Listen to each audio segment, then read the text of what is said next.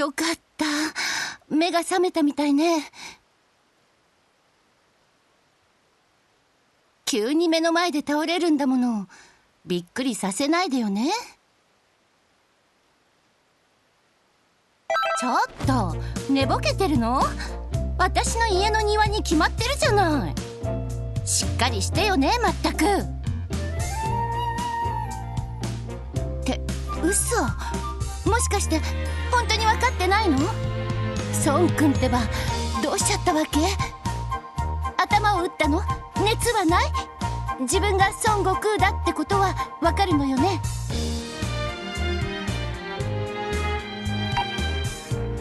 あんたに決まってるじゃない。っていうか何なのよその変な口調は。ほらこれが証拠よ。鏡で自分の顔を見てみなさい。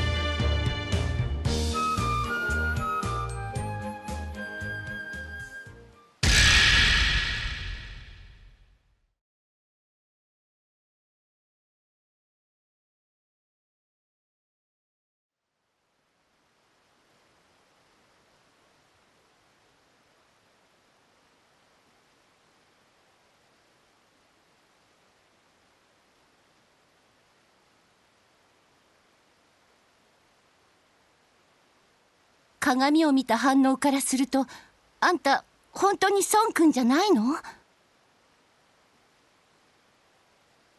でも見た目は間違いなく孫くんだしもしかして記憶喪失？ああもうどうしたらいいのよ？今はそれどころじゃないのに。ここにいたか。誰よ？この大変な時に。あ？あ？あんたはまさか。16号。16号なの？ねえセルに破壊されたはずのあんたがどうしてここに？もしかしてドラゴンボールで生き返ったの？16号まで復活したなんて一体何が起きているっていうの？ちょっと黙ってないで何とか言いなさいよ。セルに壊されて故障した時直してあげた恩を忘れたの？それは俺ではない。別の16号だ。え？孫悟空にリンクしているものよ抵抗するというなら力ずくでも連れていく。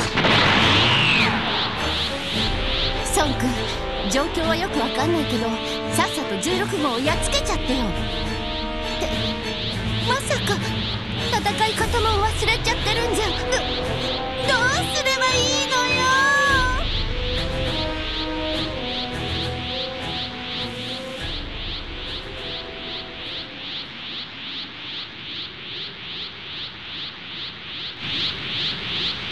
その肉体は孫悟空のもの。強度もそのままのはず。だ多少手荒な真似をするがお前が死ぬことはない。安心しろ。殺すわけにはいかないから。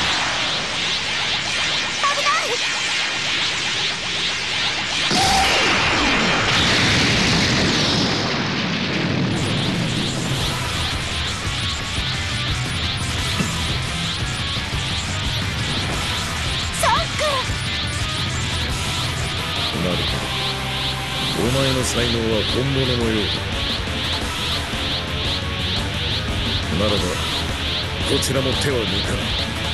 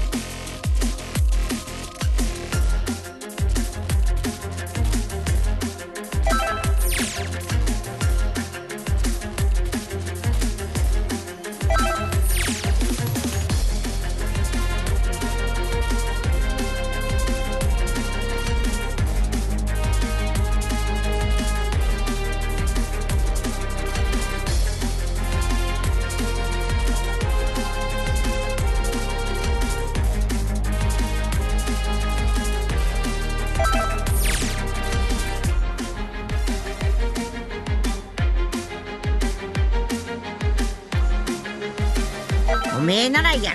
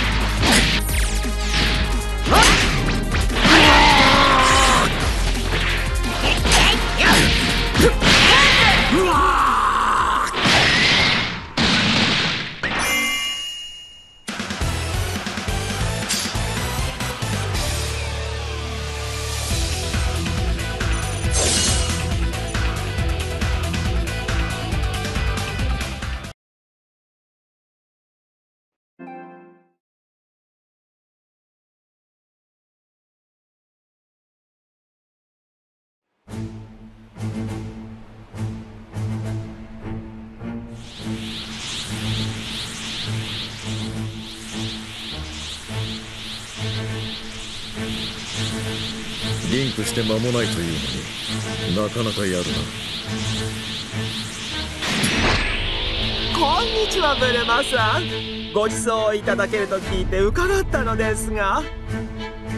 わざわざ僕たちを呼び出したんだよっぽど美味しいものなんだろうね。ん？なんだお前？どうやら人間じゃないようだが。邪魔が入ったようだな。ここは出直した方が良さそうだ。孫悟空にリンクして。いるまた会おう。行っちゃった。何がどうなってるわけ？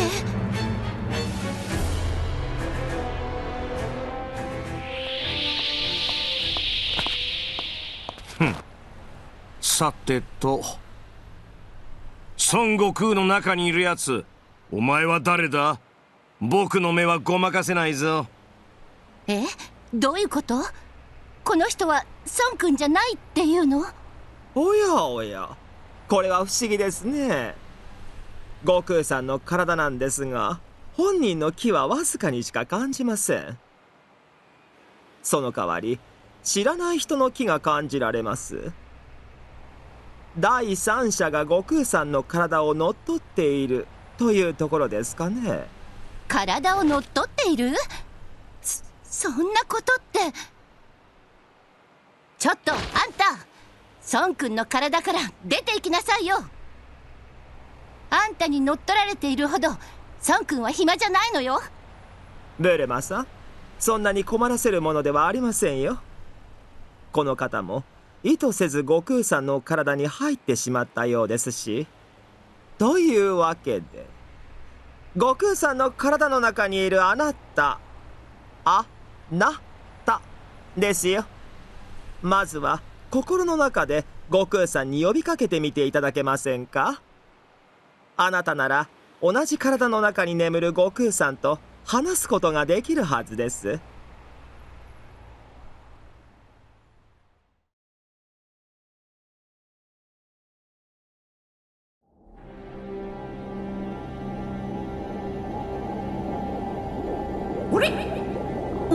おめえ誰だ？それにここどこだ？変だな。体が動かねえ。おらどうしちまったんだ？なあおめえなんか知らねえか？もしわかんなら教えてくれ。え？おめえがオラの体に入ってるって？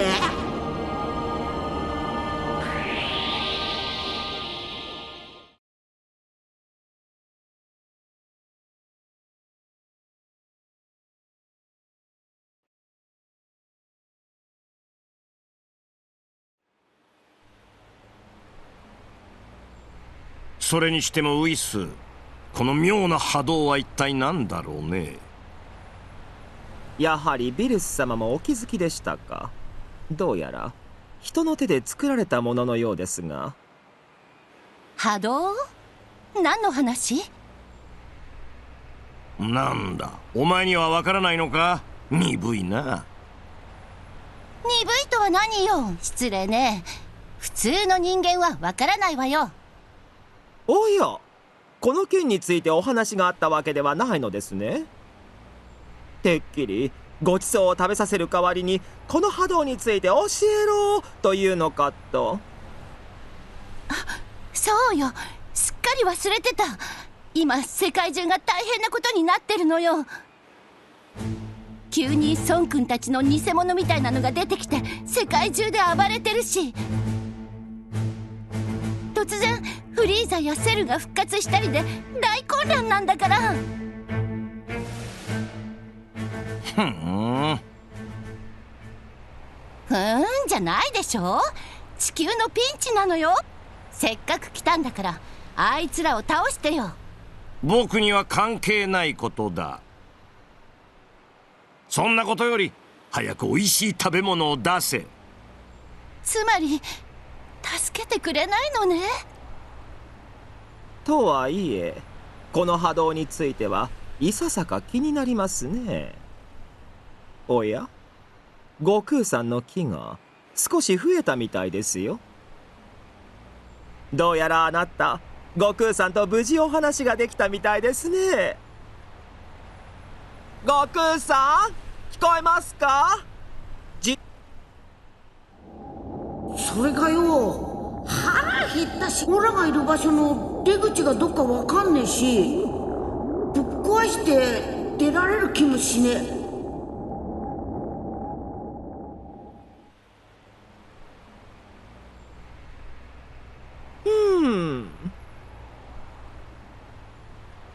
悟空さんから返答がないところを見るとやはり自力では動けないようですね。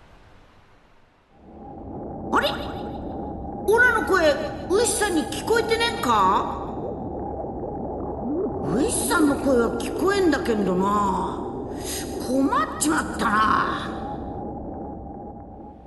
ひょっとすると悟空さんがこうなったのはこの波動の影響かもしれませんね。波動の力で木の量が制限され反動で精神が体の奥底で冬眠状態になった。そんなところでしょうか。気が多そうな連中は全員強制的に眠らされているようだな。だったらなんでビルス様とウィスさんは大丈夫なわけ？決まってるだろう神はそんな波動なんかの影響は受けない。あそう。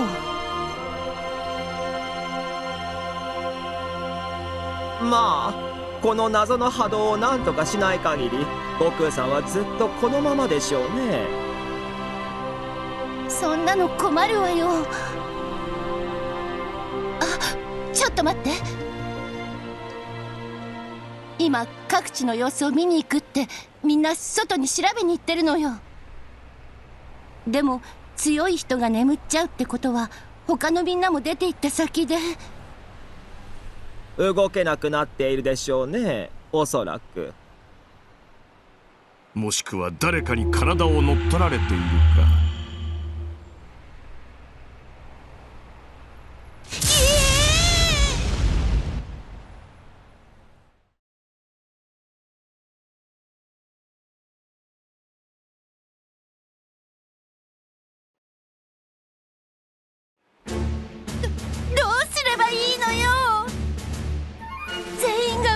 なっちゃうなんて今までで最大のピンチじゃない。この状況を打破するにはこの波動を止める必要があるでしょうね。ブルマさんこの波動の原因に心当たりはありませんか？急にそんなこと言われても。あそういえ思い当たることがあるようだな。ばなんであの時16号が現れたんだろうって。それに孫悟空にリンクしているものって言ってたし今起こってることと全く関係ないとも思えないわ。なるほど。そう思うのでしたら探ってみる価値はあるのでは？そうよね。まずは調べてみないとわからないわそれにみんなのこともそのままってわけにはいかないしね。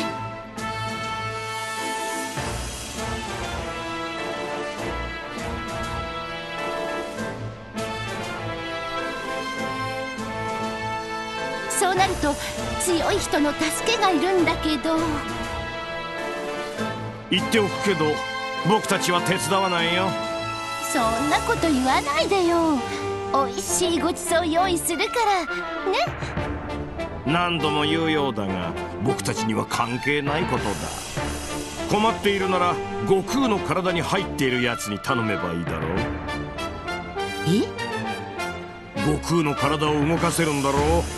だったらこいつも戦えるはずだ。うーん仕方ないか。まああんただって元の体に戻れないと困るでしょ？というわけで私たちに協力してね。よろしく。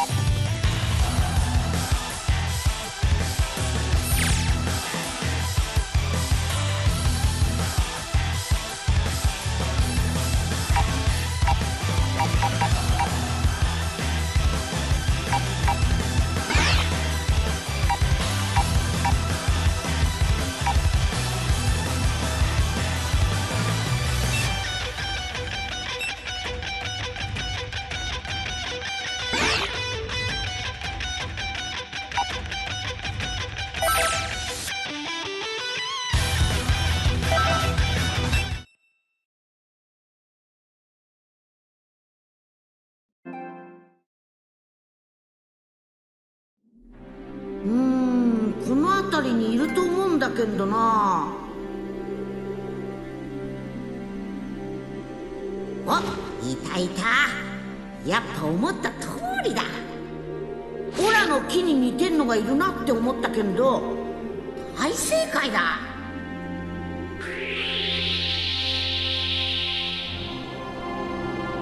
へへやっぱ驚いたか。そいつオラにそっくりだろ。難しいことはよくわかんねえけんどそいつクローンっちゅうんだってよ。他にもそいつみてえな偽物がいっぺいいて暴れまくってるらしいんだ。見た目が似てるだけじゃなくて本物と同じような技も使うんだ。オラもう。自分と戦うなんて初めてだから。なんか変な感じがすんだよな。勝てっかどうかは戦ってみねえとわかんねえけどさ。オラと同じような技を使うんだったらこいつとの戦いもいい修行になると思う。そういうわけだからまずは目の前にいるあいつをやっつけようぜ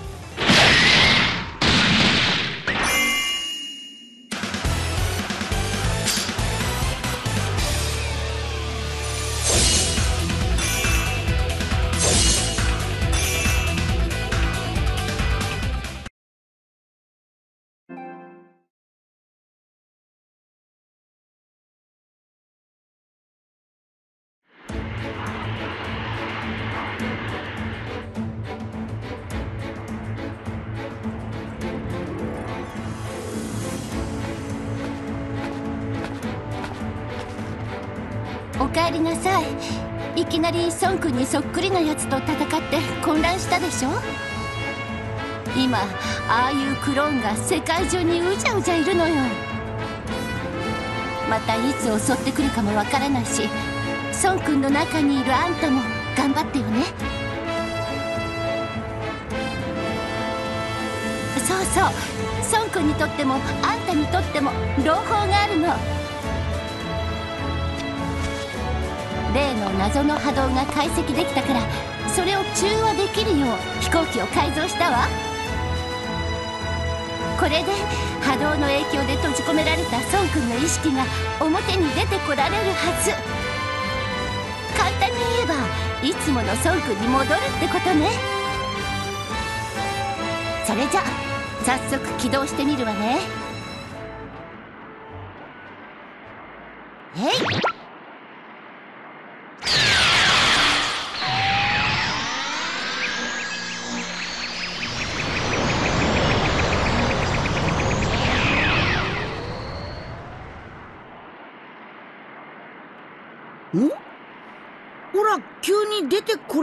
なったぞ。やったわ成功ね。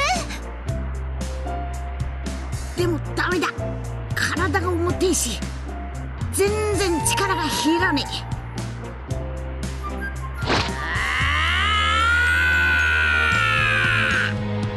え。やっぱ全然力が出ねえ。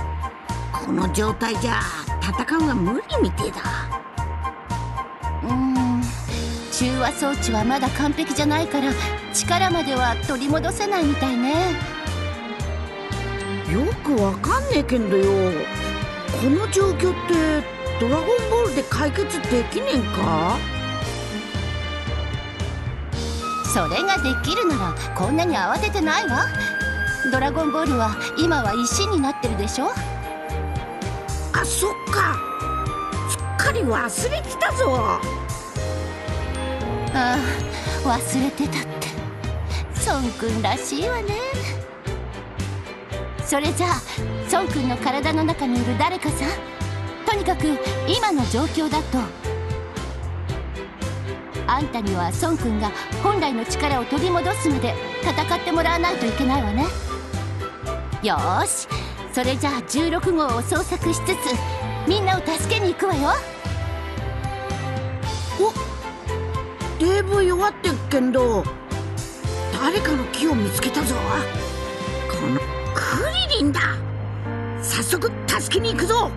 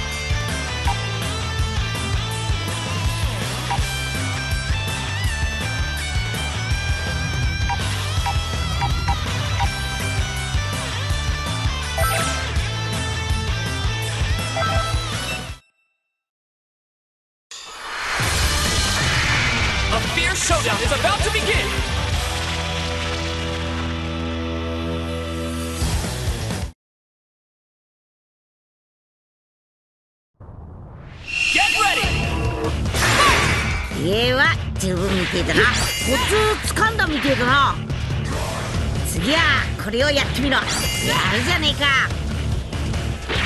次はこれをやってみろ。すげえな。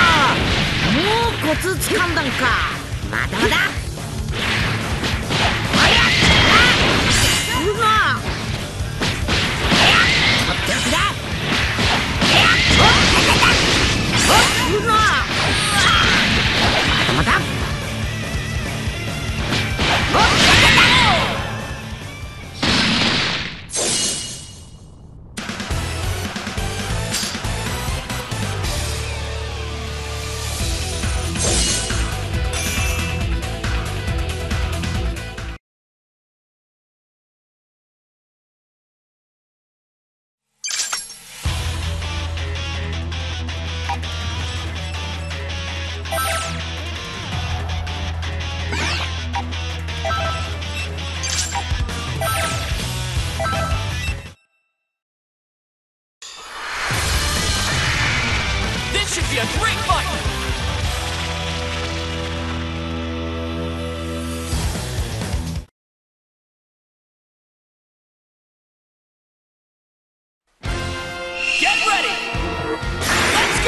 めえの力見せてくれ。よしいいぞ。よし次はやるじゃねえか。もう一丁だ。よしいいぞ。もう一丁だ。ほらワクワクしてきたぞ。最後だ。息入れてやるよ。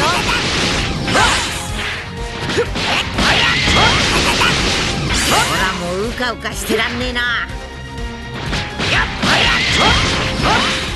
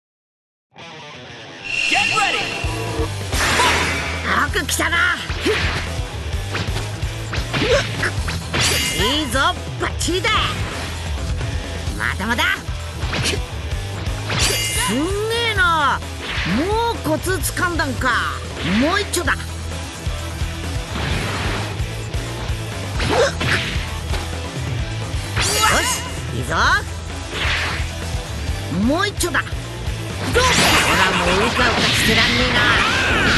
最後だ。息入れてやるよ。ぞぞぞすんげえなもう。コツ掴んだんかぞぞ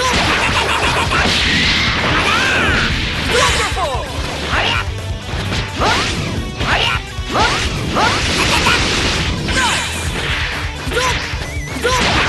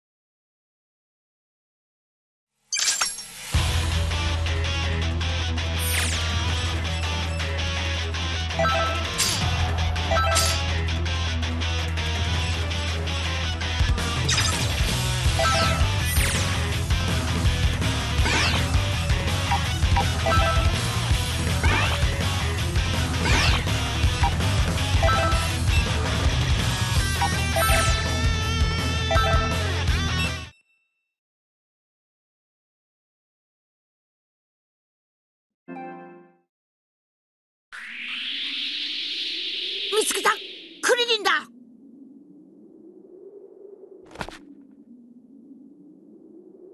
あいつクローンか？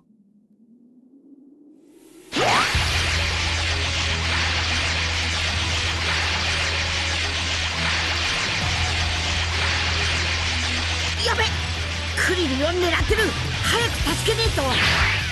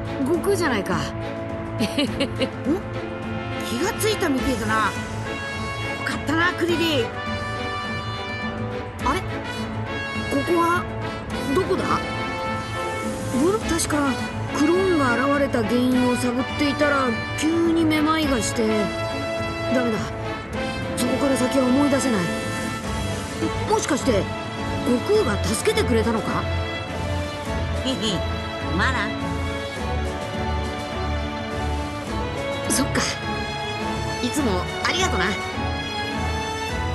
えなんて言って。ほらだってやべえ時はいつもクリリンから先頭もらってんだろ。悟空さすがの俺もちょっと傷つくぜ。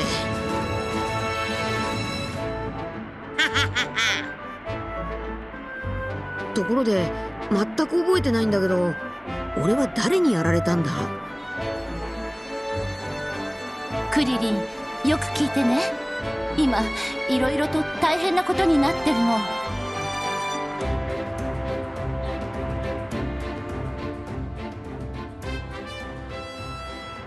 というわけなのよ。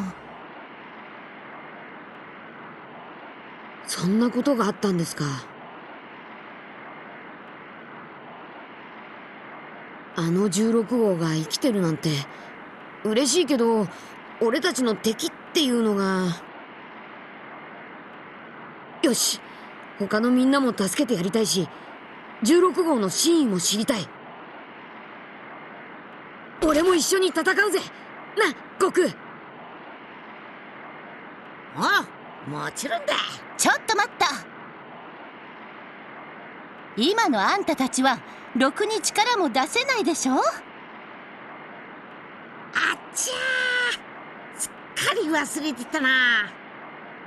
修行すりゃ少しはマシになりそうだけんどほらも一人じゃまともに叩けねえし。え？それじゃあ俺は戦えないってことなんですか？うーん思いつく方法はあるけど孫君の中にいる人の協力がいるのよね。というわけであんた孫君からクリリンに移動することはできない？え？悟空の中にいるやつが俺にリンクするってことですか？いいから。二人とも試しに目を閉じてみて。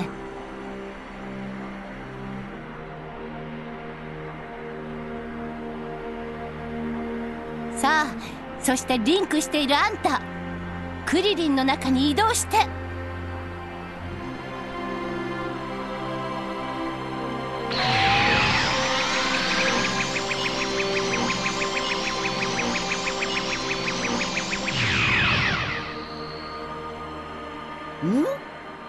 オラの中からいなくなっちまったぞ。お俺の中に知らないやつが。やったー。リンクする相手が変わったわ。これでみんな戦うことができるわね。なあじゃあクリリンが戦ってる間オラ何にもできねえっちゅうことか？リンクできる人は一人だもの。当然そうなるわね。でも仲間が増えるのよ。ソン君の負担だって減るじゃない。確かに悟空だけに頼りっぱなしってわけにいかないもんな。うん。まっかもともとオラが自分で戦っていたわけじゃねえし。自分で戦えるようになるまで精神修行っちゅうやつをすりゃいいしな。あんたらしい考え方だわ。とにかくそういうことだから3人ともこれからもよろしくね。